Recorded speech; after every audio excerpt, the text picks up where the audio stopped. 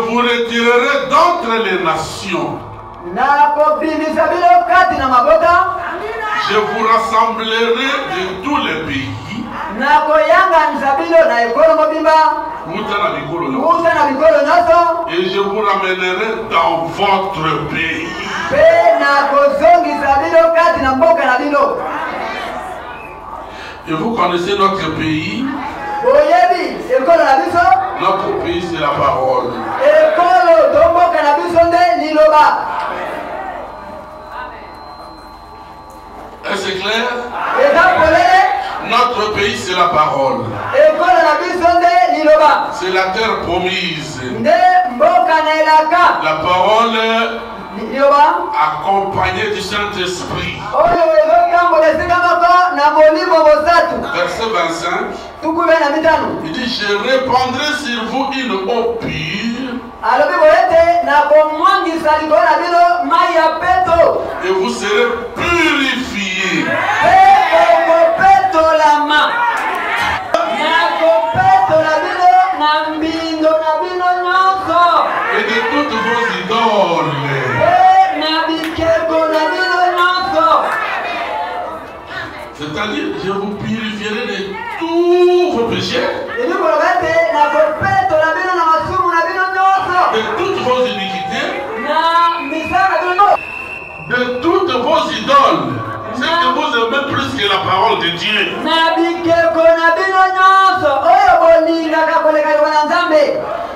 Parce que tout ce que vous aimez plus que la parole de Dieu, c'est une idole.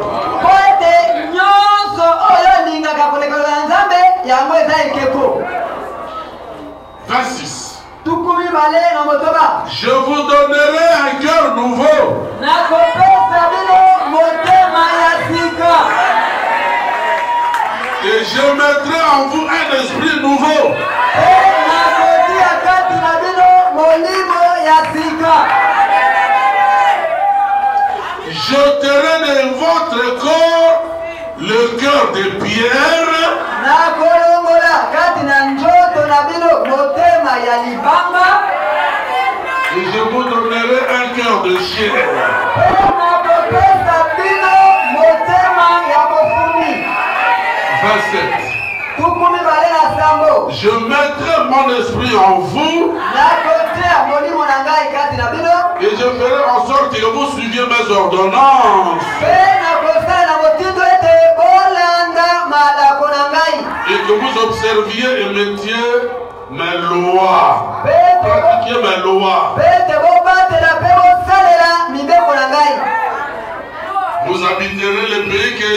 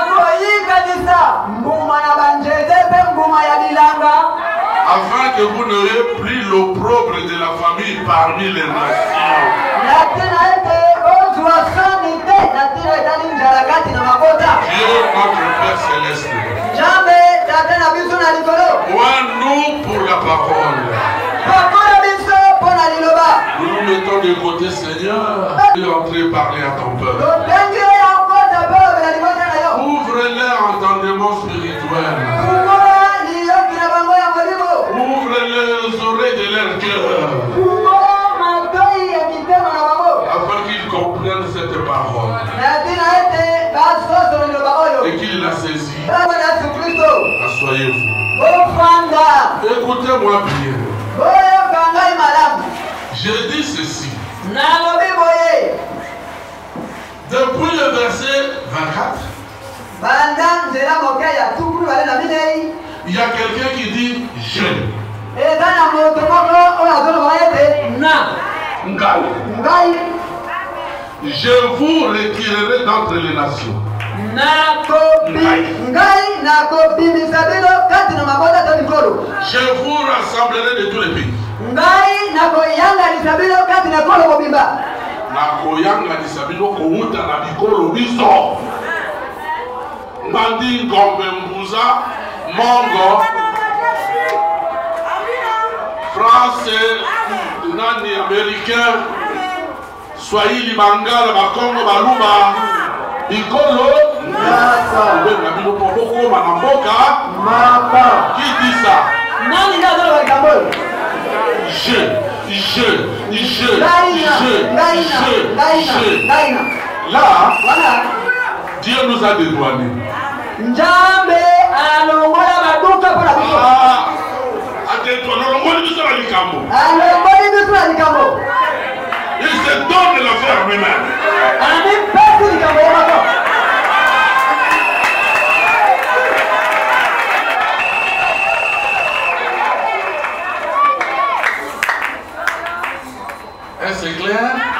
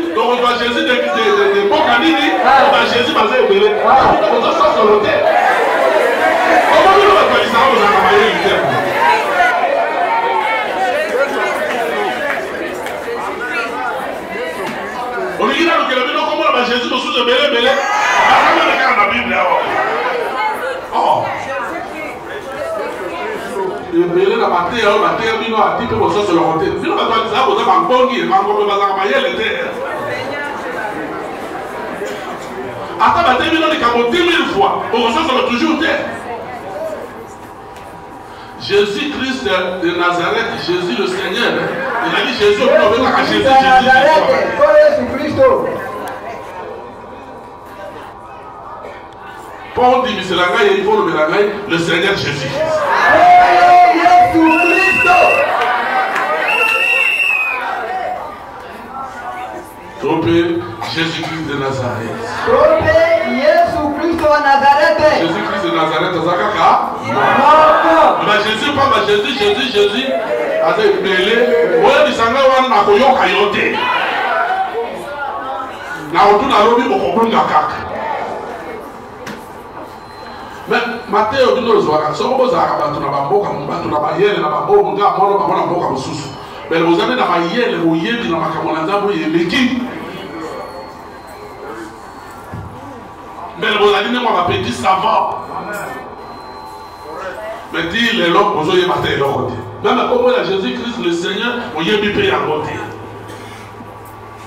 yango soki nalingi nakende mbangu na liteya eza bete nzoka nsima mpo baoyeba eloko te boko bokoza mpe botiki no ntango nini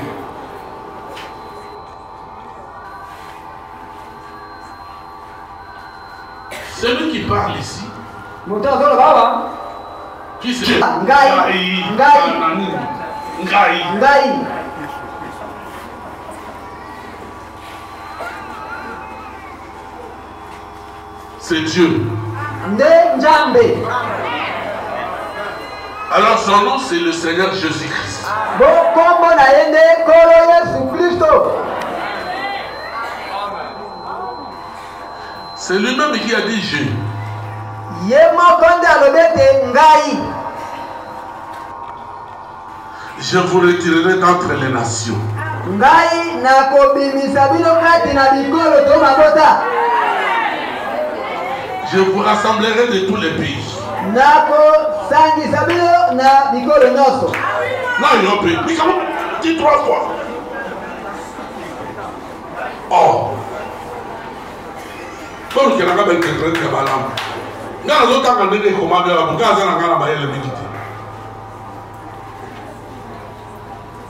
peut-être ke ngai nde nazobunga bongo ye azolimbola malamu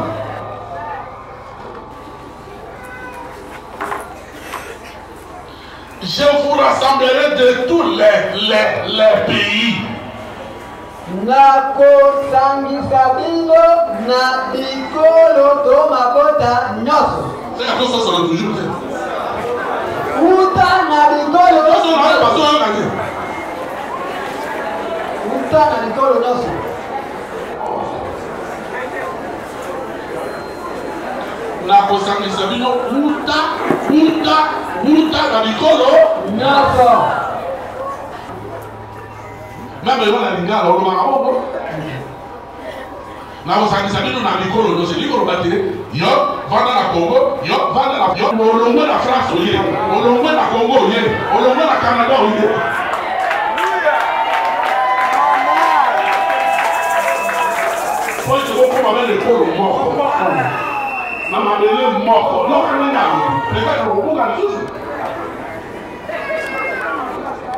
nzambe asunga yo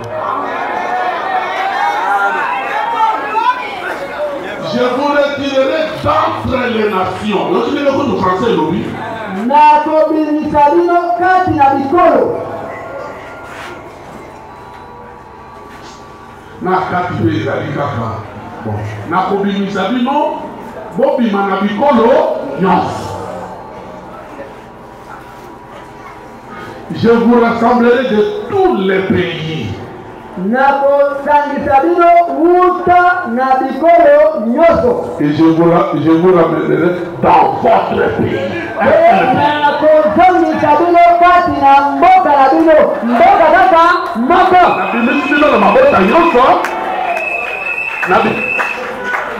to mpo ete nasangisa bino na mboka na bino mboka na bino mboka bo moko koma bato bakoki kosokolo bible na ndenge ekomami malamu esi interprète sizwa faible effort ya kotangaka bible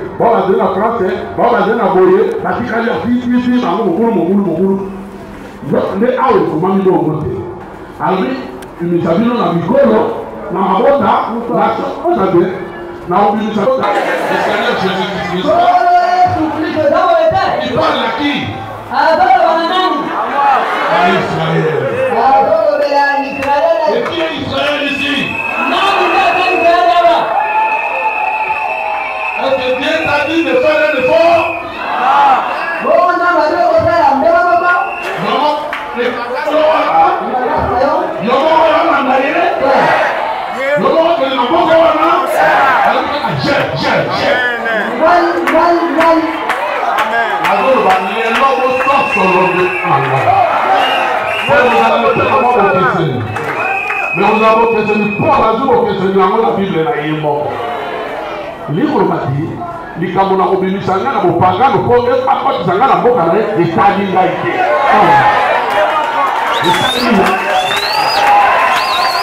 esali nini moko